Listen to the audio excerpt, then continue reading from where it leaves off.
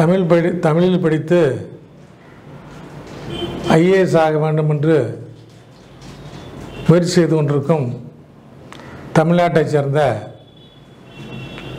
நண்பர்கள் அனைவருக்கும் சென்னையில் உள்ள ராஜீவ்காந்தி ஐஏஎஸ் அகாடமியின் சார்பாக இந்த காணொளி மூலமாக உங்களை சந்திப்பதிலே மிகுந்த மகிழ்ச்சி. நம்ம இந்த காணொலி அனுப்புவதன் மிக முக்கிய நோக்கம் நடப்பு செய்திகள் செய்தித்தாள்கள் வரும் பொழுது அதை அடிப்படையாக கொண்டு UPSC union public service commission எவ்வாறு முதல் நிலை தேர்விலே கேள்விகளை கேட்கிறார்கள் அதற்கேற்ப நாம் எவ்வாறு நம்மை தயார்படுத்திக் கொள்வது என்கின்ற உயர்ந்த நோக்கில் தமிழ் வழியில் தமிழ்நாட்டைச் சேர்ந்த மாணவர்கள் அனைவரும் பயன்பெறுகின்ற வகையில் சென்னையில் உள்ள ராஜீவ்காந்த் ஐஏஎஸ் அகாடமி உங்களுக்கு இந்த காணொலியை பகிர்கிறது. இன்றைக்கு நம்ம பார்க்க போகிற தலைப்பு நிறைய நேஷனல் பார்க்ஸ் ஆஃப் இந்தியா ஏன் இந்த தலைப்பு இன்றைக்கு எடுத்திருக்கோம்னா நேற்றைக்கு முத நாள் பத்திரிகையில் ஒரு மிக முக்கிய செய்தி வந்தது. அது என்ன செய்தி அப்படின்னா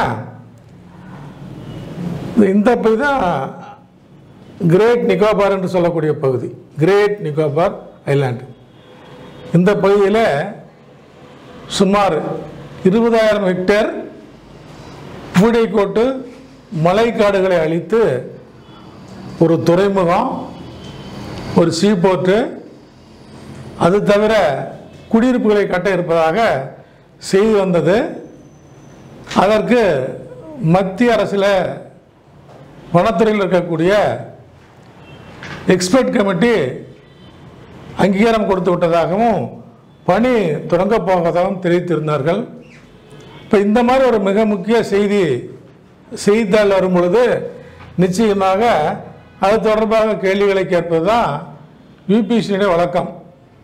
ஆகவே இன்றைக்கு நாம் இது இது தொடர்பான மற்ற இதே மாதிரி இருக்கக்கூடிய மற்ற மெரைன் நேஷனல் பார்க்களையும் தெரிஞ்சுக்கலாம். அதுக்காகத்தான் இந்த காணொளி. கடைசி வரைக்கும் தயவு செய்து பாருங்கள். முதல் முதல் நம்ம சொல்லக்கூடிய மிக முக்கிய marine national park gulf of Mannar biosphere reserve இது தமிழ்நாட்டில் இருக்கக்கூடிய ஒரு மிகப்பெரிய marine national park biosphere reserve இது எங்கே இருக்குன்னா தனுஷ்கோடிக்கும் ராமேஸ்வரத்துக்கும் இடையில் இருக்கிறது. இதில் மிக முக்கியமாக நாம் பார்க்க வேண்டியது என்னென்னா உலகத்தில் இந்தியாவில் மற்ற எந்த இடத்துலையும் இல்லாத கடல் பசு என்று சொல்லக்கூடிய துகாங் என்ற உயிரினம் இங்கே எப்படி தான் இருக்கு வேறு எங்கேயும் இல்லை. அது ரொம்ப முக்கியம். அதே போன்று கீழே சொல்லியிருக்கேன் பாருங்கள் மனிதன் வந்து த்ரூ எவல்யூஷனரி ப்ராசஸ் எப்படி வந்தான்னு நம்ம புத்தகங்கள் படிச்சிருக்கோம். அதற்கான ஒரு ஆதாரம் இந்த பலலோகஸ்னு சொல்லக்கூடிய ஒரு ஃபாசில் இருக்குது அந்த ஃபாசில் இங்கே மட்டும்தான் கிடைக்குது உலகத்தில் வேற எங்கேயுமே இல்லை. ஆகவே அந்த அளவுக்கு ஒரு முக்கியத்துவம் வாய்ந்த இடம். அந்த கடல் பசுனுடைய படத்தை நீங்கள் தப்பு பார்க்கலாம். இதுதான் அந்த கடல் பஸ்ஸு அது மன்னார் வளைகுடா பகுதியில் மட்டும் மிக அதிகமாக இருக்கிறது. மற்ற இடங்கள் அதை காணும். ஒரு தீவு கூட்டங்கள் இருக்கிற அந்த மிகப்பெரிய தீவு கூட்டத்தில் இருக்கக்கூடிய ஒரு மெரைன் நேஷனல் பார்க் தான் Mahatma Gandhi marine national park. இங்கே இந்த நேஷனல் பார்க்கில் மிக முக்கியமான அரிதான விலங்கு என்ன அப்படின்னா லெதர் பேக் டட்டுன்னு சொல்லுவோம். ஆமை அதோடைய வெளிப்புற ஓடு வித்தியாசமாக இருக்கும். அது வேற எங்கேயும் காணா. நம்ம ஊரில் இந்த பகுதியில் அந்தமான தீவு கூடத்தில் மட்டும்தான் இருக்குது அது மட்டும் இல்லாமல் ஒரு வித்தியாசமான குரல் வகை. பவளப்பாறை உங்களுக்கு தெரிஞ்சிருக்கும். அந்த பவளப்பாறைகள் தீவை ஒட்டி காணப்படுகிறது காணப்படுகிறது. அந்த வித்தியாசமான வினோதமான பவளப்பாறை உலகத்தில் இல்லை. இந்த மாதிரி பவளப்பாறைகள் மிக பெருசு நீளமானது ஆஸ்திரேலியாவில் இருக்கு.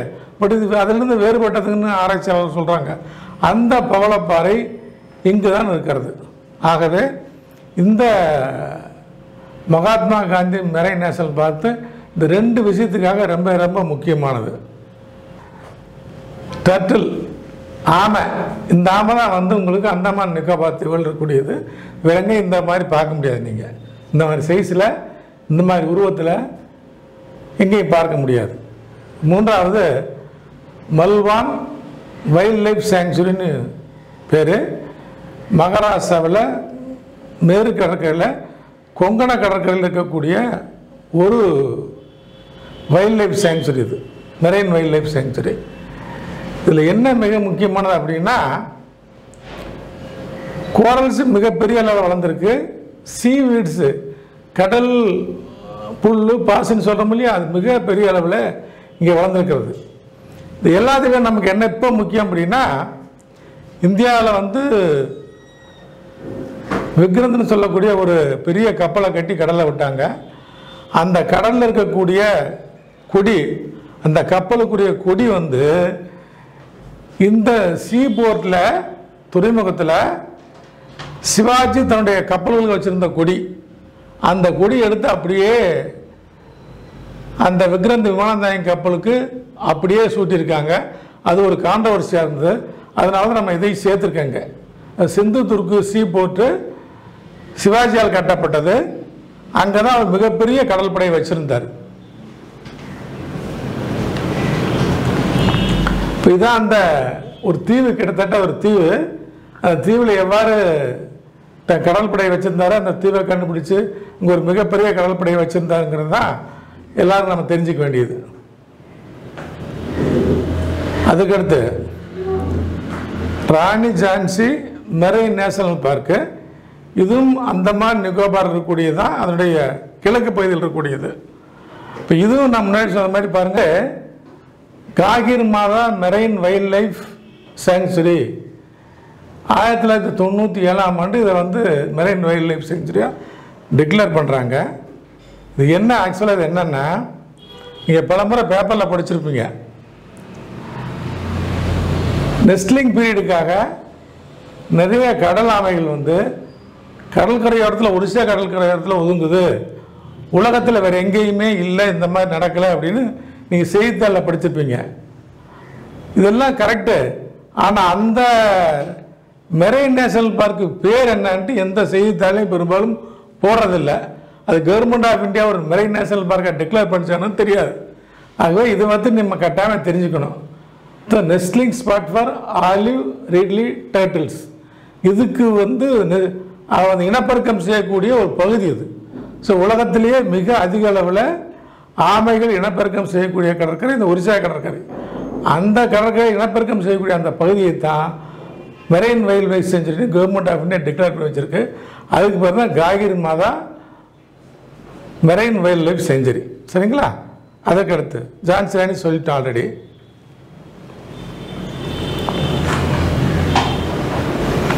அதுக்கடுத்து gulf of Kutch marine national park ஆயிரத்தி தொள்ளாயிரத்தி எண்பத்தி ரெண்டாம் ஆண்டு ஏற்படுத்தப்பட்டது. அந்த கல்ஃப் ஆஃப் கட்ச் இருக்கிற பகுதி தான் கடலில் சற்றே மூழ்கி விட்ட பகுதி நம்ம நினச்சிட்டு இருக்கோம். அதுதான் அந்த துவாரகான்னு பேர். குஜராத்தில் கட்சி விளைவிடா பகுதியில் இருக்கக்கூடிய துவாரகா. அந்த மாவட்டத்தில் இருக்கு. அந்த பகுதிக்கு பேர் தான் தேவ் பூமின்னு பேர்.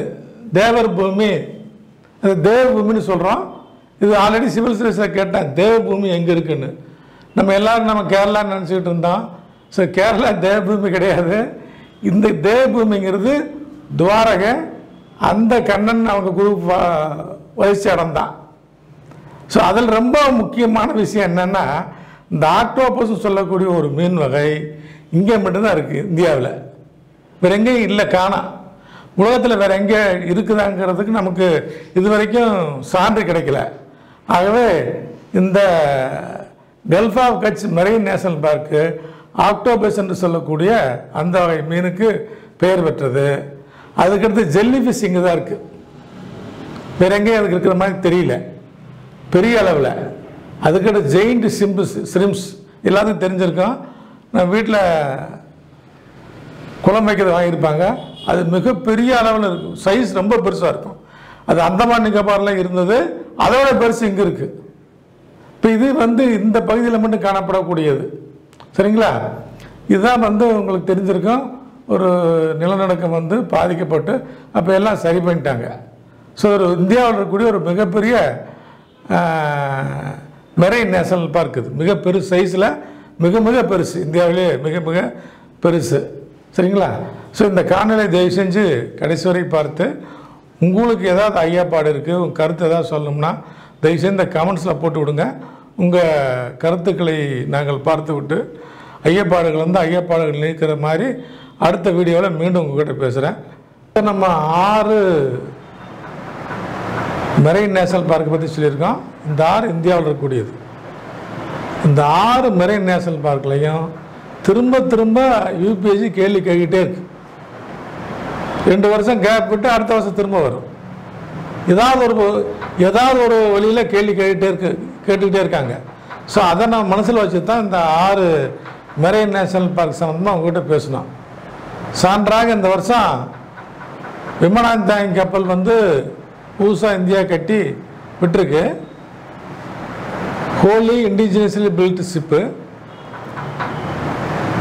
aircraft carrier அதனுடைய கொடி மாற்றிருக்காங்க அந்த இது வரைக்கும் அந்த கொடியானது வெள்ளைக்காரங்க கொடுத்துட்டு போன கொடி தான் வச்சுட்டு இருந்தாங்க. இப்போ இந்த ஆண்டு வந்து புது கொடி. அந்த கொடி யாருன்னா நம்ம சொன்னோம் இல்லையா? சிவாஜி தன்னுடைய கடல் படைக்க பயன்படுத்தின கொடி. அந்த கொடியை கொண்டு போய் அந்த விமான கப்பலுக்கு கொடுத்து அந்த கொடிக்கு தான் இனிமேல் அந்த கப்பலில் பறக்க விடுவாங்க ஸோ இது வந்து புது செய்தி. ஆக நிச்சயமாக அதெல்லாம் கேட்குறதுக்கு வாய்ப்பு இருக்குது ஸோ இந்த மாதிரி நாங்கள் புது புது செய்தியை மனசில் வச்சு தான் இந்த காணொளி உங்களுக்கு போட்டிருக்கோம். ஆகவே நீங்கள் தயவுசெய்து இதை பார்க்கணும். தொடர்புடைய விஷயங்கள் உங்களுக்கு ஏதாவது சந்தேகம் இருக்குன்னா எங்கள் கமெண்ட்ஸில் போடுங்க. நாங்கள் மீண்டும் உங்ககிட்ட அடுத்த வீடியோ பேசும்போது உங்கள் உங்களுடைய ஐயா பாட்டை நீக்குவதற்கு தயாராக இருக்கிறோம். நன்றி.